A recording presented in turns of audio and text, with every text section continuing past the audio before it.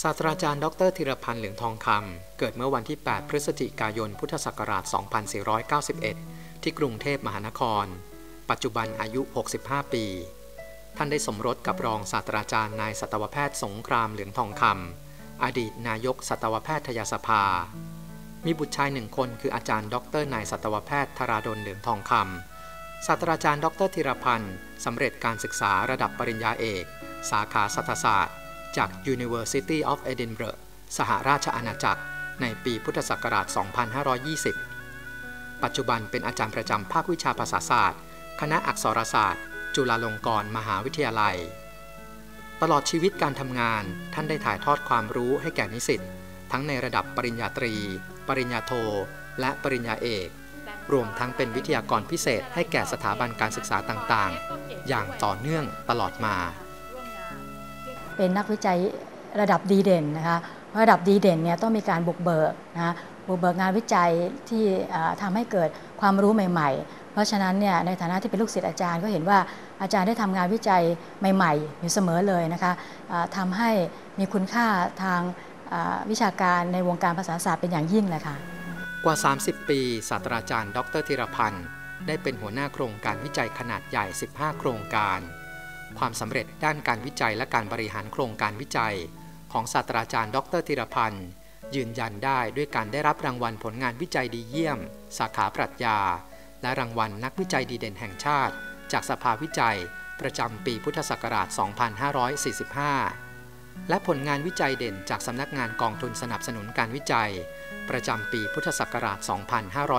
2550 ความโดดเด่นด้านการวิจัยของศาสตราจารย์ ดรธีรพันธ์ คือการวิจัยเชิงวิชาการ ซึ่งเป็นงานวิจัยพื้นฐาน เพื่อเผยแพร่ความรู้เกี่ยวกับภาษาศาสตร์ ภาษาชนกลุ่มน้อย แก่นักวิชาการ ทั้งในระดับชาติและระดับนานาชาติ และการวิจัยประยุกต์เพื่อพัฒนาคุณภาพชีวิตของคนในสังคม และพัฒนาประเทศ การนำอาจารย์รุ่นใหม่ นิสิตระดับปริญญาตรี ปริญญาโท ปริญญาเอกเข้าร่วมโครงการ ร่วมวิจัยและเรียนรู้ถึงการบริหารจัดการงานวิจัย ยังได้สร้างผลผลิตเป็นนักวิจัยรุ่นใหม่ ซึ่งต่อมาได้เป็นอาจารย์ประจำสถาบันการศึกษาต่างๆ ทั่วประเทศ ถ้าจะให้คำจำกัดความสั้นๆนะครับธีรพันธ์ผมก็คงนึกถึงทุ่มเทครับ เพราะว่าตั้งแต่รู้จักอาจารย์มาในฐานะนิสิตแล้วก็ในฐานะเพื่อนร่วมงานก็เห็นว่าอาจารย์เป็นคนที่ทุ่มเทมาก ทั้งถ้าถ้าในฐานะครูเนี่ยก็จะเห็นว่าอาจารย์ธีรพันธ์ทุ่มเทให้กับ การพัฒนานิสิตมากไม่ว่าจะเป็นการสอนในห้อง การนำผลงานวิชาการสู่เวทีในระดับสากลเป็นพันธกิจหนึ่ง ที่ศาสตราจารย์ ดรธีรพันธ์ได้ดำเนินมาโดยตลอดศาสตราจารย์ ดรธีรพันธ์ได้นำเสนอผลงานวิชาการ โดยได้รับทุนสนับสนุนจากองค์กรชั้นนำต่างๆ ในต่างประเทศถึง 21 ครั้ง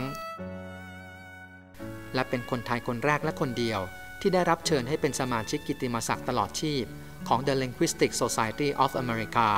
ในปีพุทธศักราช 2553 การมีศักยภาพในการวิจัยสูงทำให้ศาสตราจารย์ดรธีรพันธ์ ได้รับทุนจากโครงการปริญญาเอกการจนาพิเศษ จากสำนักงานกองทุนสนับสนุนการวิจัยอย่างต่อเนื่อง เพื่อผลิตนักวิจัยระดับปริญญาเอก เพื่อเพิ่มความเข้มแข็งให้กับระบบวิจัยของประเทศ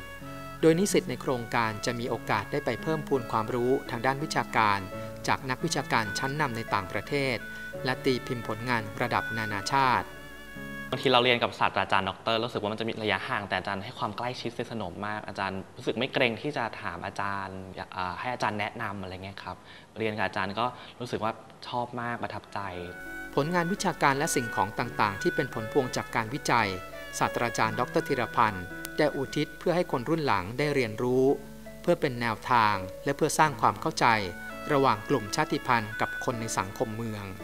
และเพื่อสร้างแรงบันดาลใจให้แก่คนรุ่นหลัง สนใจศึกษาภาษาและความหลากหลายในสังคมไทย ตลอดระยะเวลาการทำงานอันยาวไกลกว่า 40 ปี นับได้ว่าศาสตราจารย์ดรธีรพันธ์ได้อุทิศตนทั้งในด้านการสอน การวิจัย และเป็นแบบอย่างที่ดีให้คนรุ่นหลังได้เรียนรู้ ทั้งจากชีวิตและผลงานของศาสตราจารย์ ดรธีรพันธ์ เหลืองทองคำ